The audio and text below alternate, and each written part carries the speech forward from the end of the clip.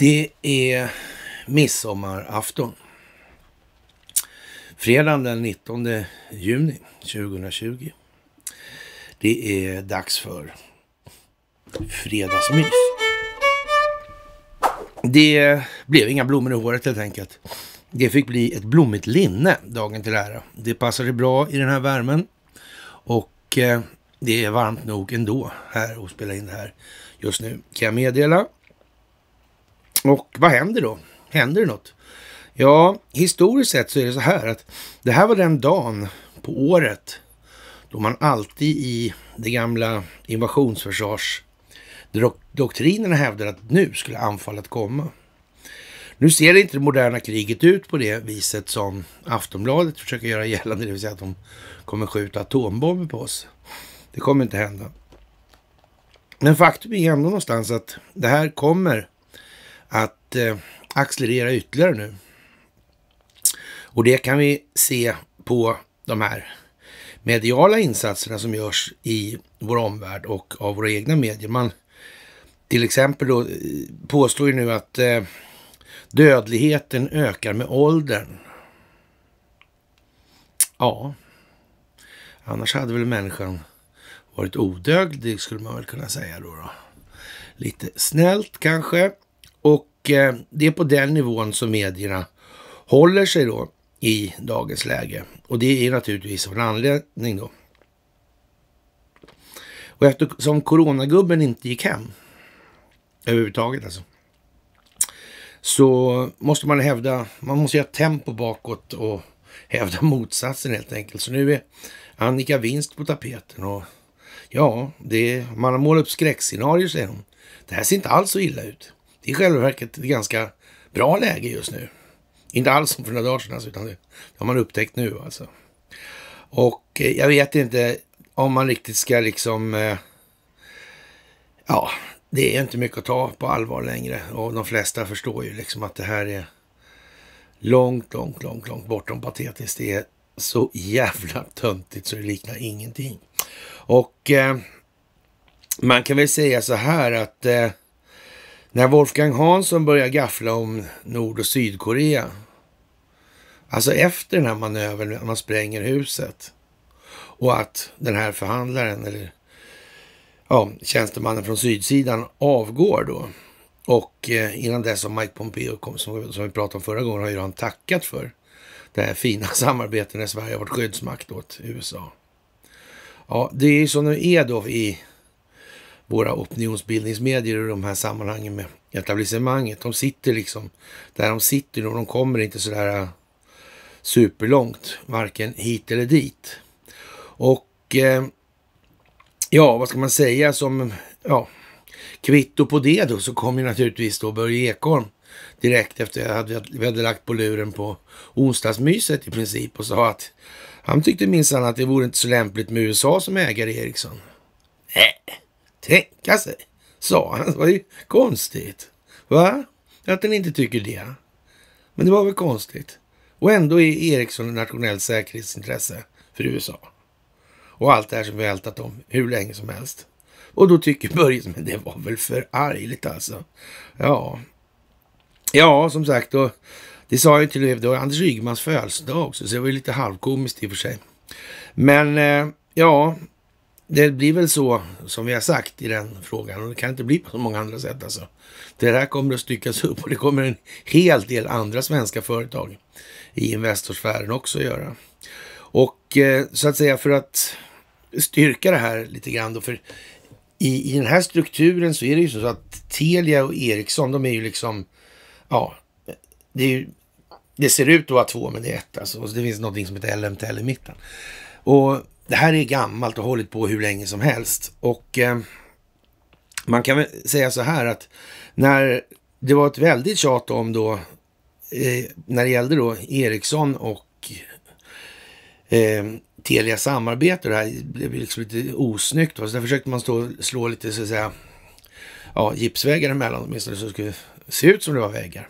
Och eh, då var det så här att det var Telia som fick till exempel ta hand om det här med eh, Uzbekistan och Gulnara Karimova. Och, eh, och i Turkiet också. det var ju så att där ägde ju då Telia stora delar av Turkcell. Och eh, då började man diskutera då här, häromkvällen att eh, nah, man skulle göra sig av med det här man, man fick, ta, det fick bli stora rabatter här för det är illa det här. Och det är inte så att Erdogan inte har fattat vilka som kontrollerar hans telekominfrastruktur. Det är alldeles helt säkert så att han har fattat det. Alltså, bombis. Jättesäkert är det faktiskt. Ja, och sen blev det hastigt och lustigt så att morgonen efter då var den här affären klar. Då gick fort det där alltså. Och rabatten var inte så pjåkig alltså. Det var många miljarder, något tiotal eller sådär alltså. Som det här rörde sig om. Och, eh, men det var det värt tydligen att komma därifrån fort.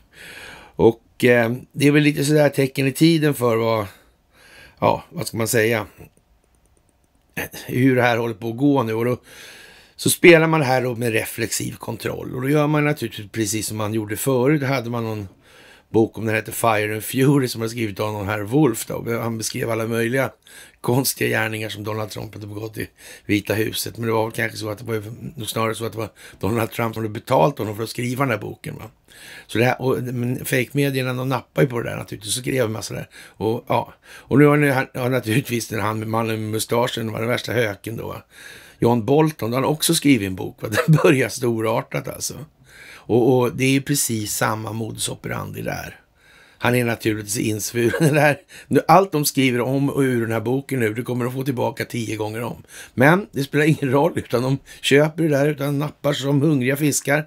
Hur grova krokar som helst, oagnat till och med.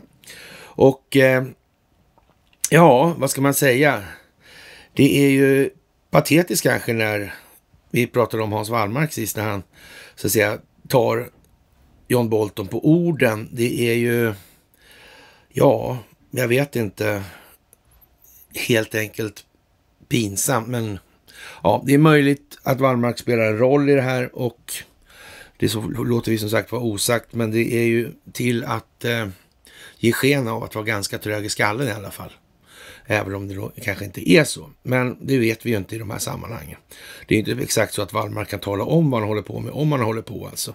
Det går ju inte. Utan han får ju så naturligtvis hålla god min i elakt spel om så skulle vara fallet. För det är också så här att det måste finnas nu på insidan av den här äckliga byråkratin med ja, Stockholmsbyråkratin. Det måste finnas människor som vet att nu rasar det. Och nu åker vi med badvattnet ur om vi inte gör någonting. Och ja, det är ju bättre att göra någonting än ingenting då i alla fall.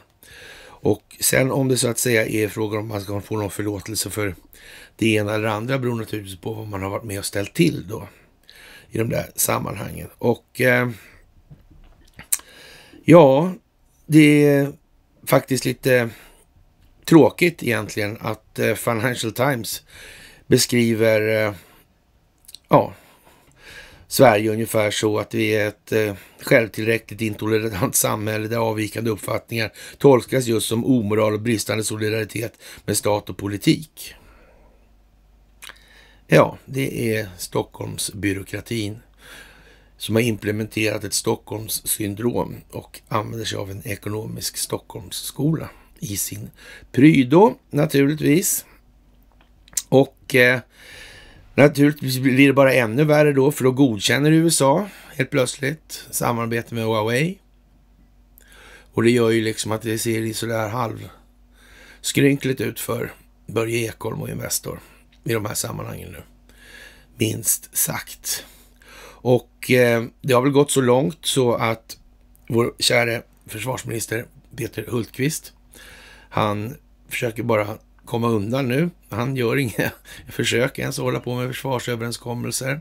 Och i ljuset av att ja, Frankrike och Turkiet är luven på varandra i Medelhavet så gör väl inte det exakt att det ser mycket bättre ut för NATO då. Faktiskt. Och eh, en gammal fin svensk koloni i de här sammanhangen är ju Japan. Och eh, det har att göra med den här familjen Hirohito som var kejsarfamilj bland annat och en finansminister som heter Takahashi. Det här går bak till början på 1900-talet kan man säga. De här riktigt starka kopplingarna in där. Och eh, nu i alla fall den förra justitieministern naturligtvis. Han är häktad, eller gripen och häktad och det är för att han har köpt röster.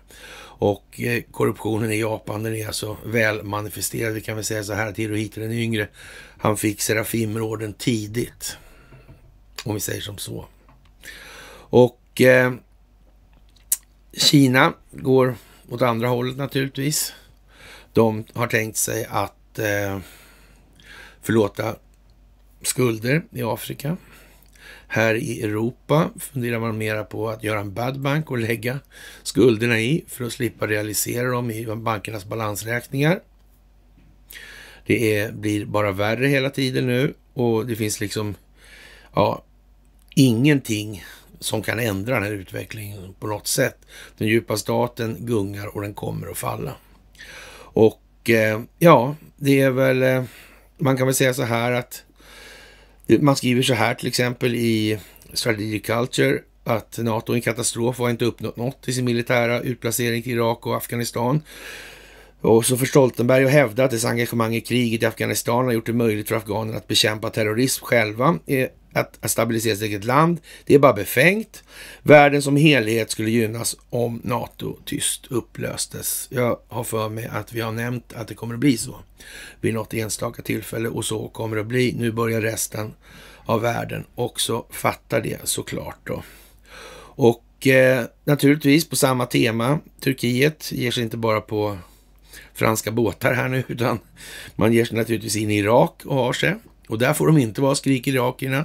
Men det är ett NATO-land. Det finns fler NATO-länder som där. USA till exempel. Turkiet måste ha minst lika stor rätt som USA var där i alla fall. Och det här gör ju att eh, Stoltenberg måste vara jättetyst där. Han kan inte säga någonting. Och eh, det här vet Erdogan, som just köpte Turkcell av Telia. Det är helt säkert. Han vet alla de här sakerna. Det är inga konstigheter så. Det är jättelätt. Det är bara att lägga ihop de här prylarna nu. Det är som de sista delarna där i pusslet. Ja, nu syns det tydligt. Och eh, ja, naturligtvis Bolton, han eh, är obetalbar. En maskhållare av rang måste man säga. Så måste vara kul att prata om honom privat. Det, när det, det mest obetalda hittills, det var ju ändå när han hade kollegieblock med sig. Så han skriver på utsidan på kollegieblocket att anfalla in i Nordkorea eller vad fan han hade skrivit med 5000 man eller sådär. Ja, den nationella säkerhetsrådgivaren alltså. Skriver på utsidan på kollegieblocket det. Ja, men det, hjälper inte alltså. De sväljer betet, journalisterna. Bättre är det inte. Eller de är tvungna att svälja betet i alla fall. Och hoppas på att folk är så dumma så de inte fattar det här alltså. Nej, den nationella säkerhetsrådgivaren, han skriver inte på utsidan på kollegieblocket och håller den utåt så alla kan läsa. Det händer inte så alltså. Det är helt fel. Och eh, det mest komiska är väl kanske då att Donald Trump han ger de här jävla, den här boken en massa uppmärksamhet då. Den skulle vara helt förkastlig, ska alltså vara helt förkastlig för honom, men då hjälper han till att pumpa på uppmärksamhet kring den här så mycket det bara går. Jag menar, han brukar ju normalt sett ändå anses vara ganska skicklig hur han så att säga mäter och väger sin opinionsbildning i insatserna då. Och, eh, men nu har han tydligen tappat manuset helt, eller så har han ju inte det alltså. Det kan ju vara det ena eller det andra, det ena eller det andra, inte något annat i det här. Och eh, vi, våran då, den här flockmentaliteten eller då flockimmuniteten då, kanske immunitet mot tänkande, inte vet jag. Eh, ja, den går ju väldigt sakta då, säger Tengil. Och eh, ja, det är väl så att det är väl mycket i det här som inte är vad man har sagt helt enkelt. Och eh, när det här nu kokar ihop på det här viset, då är det ju naturligtvis kommer bli en oerhörd exponering av en massa människor som har gjort dåliga saker. Och de här människorna ska naturligtvis lagföras för det här. Men vi har som sagt ett problem i Sverige att vi har inget rättssystem värt namnet. Och precis som Donald Trump en gång sa, det sa det förra klippet också, liksom att det finns ingen advokat som kan motstå rikedom och berömmelse. Och det är ju precis den typen av moraliska föredömen man inte ska ha i ett rättssystem överhuvudtaget. Det är ju grogrunden till korruption utifrån egen nytta alltså. Och eh, då har vi tagit upp de här eh, gamla Ostindiska kompanierna och deras verksamhet. Då. Och det här är ju lite festligt för det här, nu kommer det här igen jättehårt alltså. Och det har vi ju sagt då att det skulle komma att göra. Och eh, nu kan man konstatera då att Lloyds i London ber om ursäkt för slaverikopplingar. Och det finns en hel del andra som också då ber om ursäkt för det här nu, Bank of England till exempel, eller kyrkan och sådär, engelska kyrkan. Och det här är naturligtvis så att om de gör det, då alltså säga, väcks ju vissa krav fram eller upp på att det här borde ju faktiskt andra namn också. Inte bara hålla på och springa runt på gatorna och sparka och slå sönder massa saker. Det är liksom ingen bra lösning. Utan man tar tag i det här och reder ut det här från början då. Jag menar de här människorna som har tjänat de här jättemycket pengarna och det som är adel då och så vidare har gjort det på, vad ska man säga, hyfsat moraliskt otillbörligt sätt. I uteslutande fall av, alltså det, det är ju vad det bygger på helt enkelt. Och det, det är ju, kan man ju tycka är så här lagom okej okay då kanske.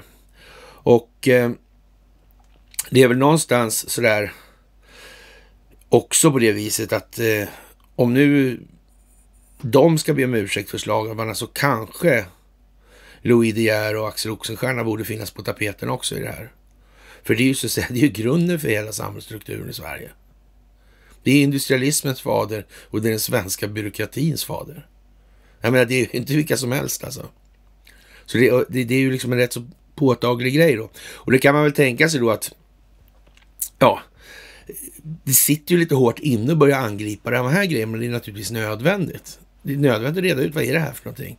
Vilken roll har vi spelat genom historien? Och det här kommer naturligtvis inte stanna där vid, utan det här kommer ju vandra framåt då i historien till den plats där vi befinner oss idag.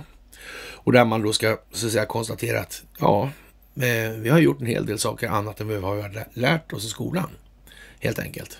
Och då blir ju självbilden lite annorlunda skulle man väl kunna säga. Och naturligtvis, det här sker koordinerat alltså, både ja, så att säga, parallellt och sekventiellt då. Och det i sin tur innebär att det här går inte bara dåligt för Telia och Ericsson i det här läget. Nej, naturligtvis inte. Det är miljardsmäll på gång för Volvo också. när det gäller då de här kartellbildningar. För det är också så att det, det här, och, men om det nu är internationella karteller, är det ingen risk att de här håller på med mindre kartellverksamhet också då? Och det kanske är det. Och, men det vankas massor med miljarder nu i, som ja, Volvo kommer få i det här. Och då är det väl inte alldeles säkert att det kan ju vara så att kineserna har så att säga räknat med den så att säga grejen och eh, har undvikit att eh, så att säga, ta upp det när man har förvärvat delar av Volvo till exempel. då kan man säga att det blir ytterligare en rättsprocess för Volvos vidkommande. I förhållande till Kina då, det kan man ju säga, det blir ett värdigt motstånd i alla fall. Så mycket är helt klart. Och eh, sen har det dykt upp en till grej och det här är lite festligt det här med Nasdaq och det finns alltså i Baltikum, Skandinavium och i New York. Och eh, då visar det sig så här nu att på Frankfurtbörsen så fanns ett tyst betalbolag som pysslar med falsk ja, balansräkning då för att manipulera kurserna. Och om man tänker så här att banker och sådana här håller på så här mycket med penningtvätt som de gör bevisligen. Finns det då ingen risk att de skulle kunna tänka sig att hålla på med varianter med bokföringen för att manipulera kursrörelsen, kursen på sin egen aktie? Kanske finns det. Kanske finns det. Ja, och eh, omvärlden när de håller på med självkritisk granskning så blir det ju förr eller senare så att då kommer de träffa på Volvo, de kommer träffa på Ericsson, de kommer träffa på Telia och så vidare och så vidare. Och det i sin tur innebär att om inte vi så att säga upplevs befinna oss i någon form av tillstånd av självrannsakan, då blir det nog ganska tråkigt. Då blir det väl kanske som Financial Times säger, eller som man beskrev Stockholmsbyråkraterna, den här spelexperten, eller korruptionsexperten. Att det är ett gäng arroganta, självtillräckliga, ja, ja, jag vet inte vad man ska säga. Alltså, alla dåliga saker, alla dåliga invektiv och attribut som finns. Det är ju så det ser ut då. Och eh, de lyfter då lite grann på de här eh, restriktionerna över resandet då, så att säga, att eh, ja, då, nu får vi resa ut då, men det spelar ju kanske en mindre roll när de har stängt gränsen då. Nu har de ju öppnat från Gotland då som någon form av hånfull pik då ifrån Norge då. Och eh, ja, Ann Linde hon säger ju naturligtvis sådana här saker som att ja, det är så mycket osäkerhetsfaktorer så ja, man vet ju inte och så vidare. Alltså, hon är ju helt ute. Ja, hon är helt av banan nu alltså. Och eh, ja, det är väl samma sak då med Peter Hultqvist egentligen. Han tar ingen ställning längre i några egentliga frågor och eh, vi kan väl kanske säga att om eh, det inte kommer någon form av politisk insats nu den här veckan som så att säga åtminstone försöker ge sken av att man vet vad man håller på med och att då kan man säga så här, då blir det nog väldigt svårt. Då kan vi nog se oss i stjärnorna efter något val nästa gång. För det, det kommer krävas någon samlingsregering för att inte det där ska bara välta alltihopa. Man säger ju så att i motgång kliver ledaren fram och det är ju det vi ser nu, vad som händer. De blir bara tystare och tystare och tystare. Och ledarskap, det är ju så att säga, det är ju upplysning helt enkelt. Sen får folk välja att gå vad de vill. Det är enkelt bara så. Och vill de prata om vad de vill göra, då får de prata om vad de vill göra. Alltså det är ju så. Men det här som vi har nu, det är att det står någon jävla politisk chef längst bak och kommenderar framåt till massorna. Och, och det är ju liksom, det är en parodi. Alltså li, lite, om man har läst lite om ledarskap så, då kan man konstatera att det, här är allting baklänges upp och ner också. Och det naturliga ledarskapet, det här med ja, upplysning för att skapa fler ledare som skapar mer upplysning, som skapar ännu fler ledare upplysning. Det är ju naturligtvis det oerhört motarbetat i det här landet sedan ja, samma tid. Sedan 350 år eller så, typ. Och ja, det är väl liksom... Det, är så, det kokar ihop nu, alltihopa. Och det är naturligtvis mycket sådär äh, dramatiskt, för att i, i EU ja, till exempel, då har man ett jättestort möte och, och det här krisar ordentligt nu alltså. Och Italien ligger inte det minsta bra till just nu alltså. Det är helt värdelöst, helt enkelt. Och att i, i Vesuvio finns så mycket slump, det kan ju inte bara vara en slump, sjöng ju Karl Gerhard en gång i tiden. Nej, det är ju inte det. Och Eriksson har ju ändå varit där då sedan 1918 då. Och den sagan om det här med datumet där då. då. Och eh, ja, det kommer inte bli något bättre faktiskt i de avseendena.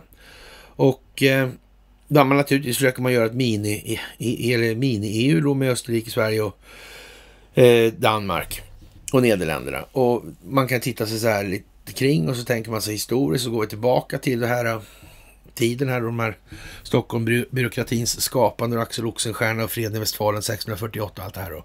Och eh, om man tittar på vilka allianser som fanns vid den tiden så är inte det här konstellationen, EU-konstellationen som man tänker så här. nej.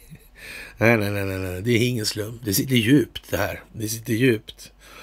Och sen kan man ju tycka då liksom att det är ju lite märkligt då att de verkligen alltså flaggar så öppet. Och många av de här sakerna som sker nu, det ju, ger ju närmast ett intryck av att de håller på att ta ner flaggan då.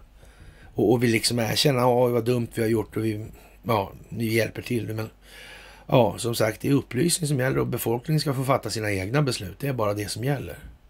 En tillräckligt stor mängd människor ska vara tillräckligt medvetna för att kunna fatta relevanta beslut i förhållande till verkligheten. Punkt slut. Så är det bara.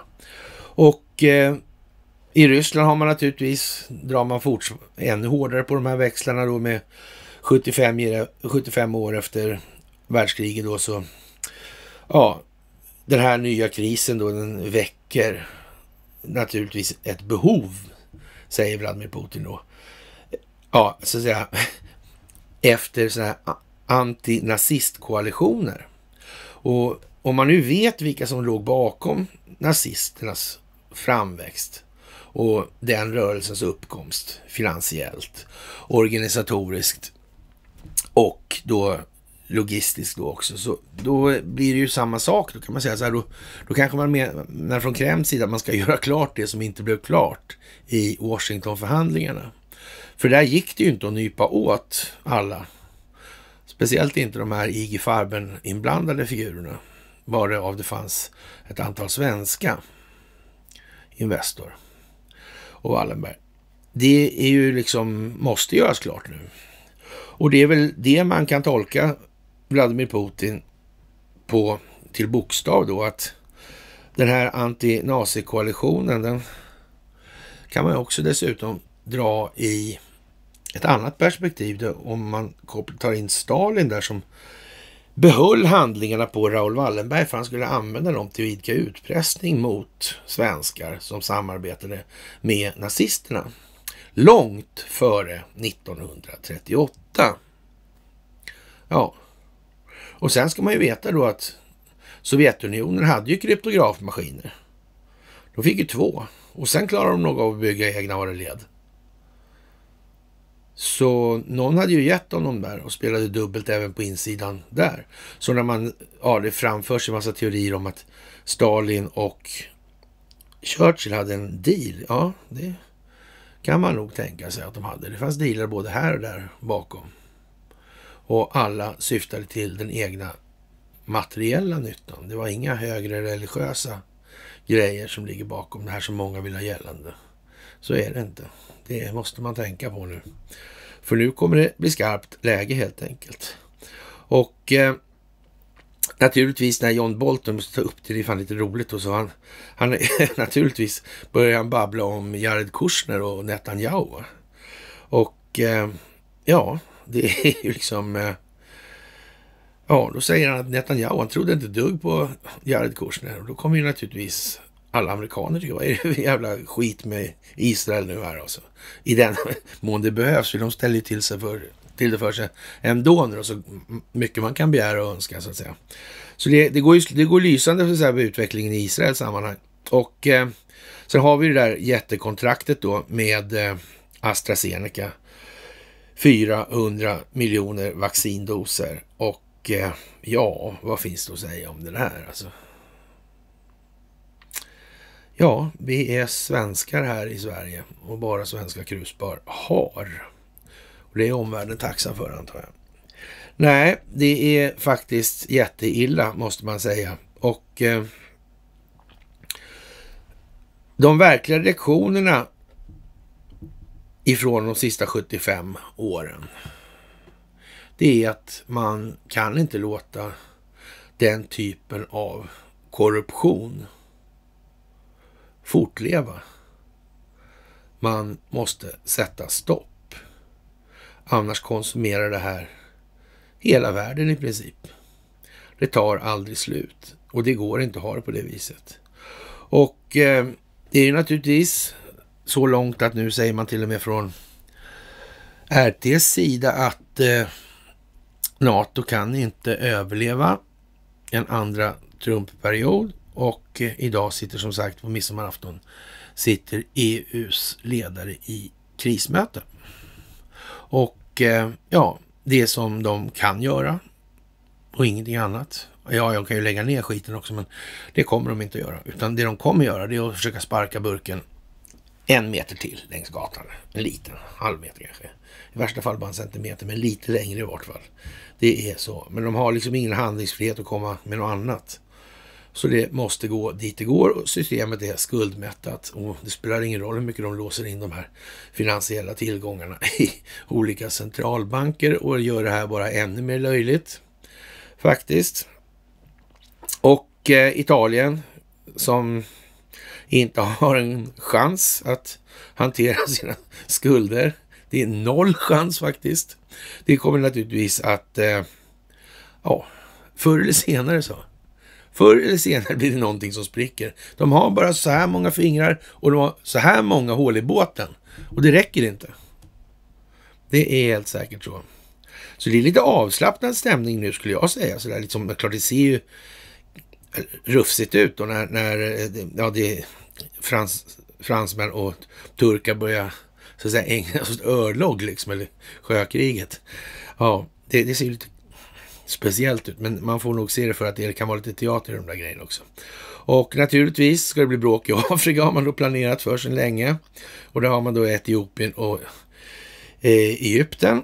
Två starka Investornästen. Där då naturligtvis Siemens, ABB sitter ihop faktiskt. Finspång till exempel.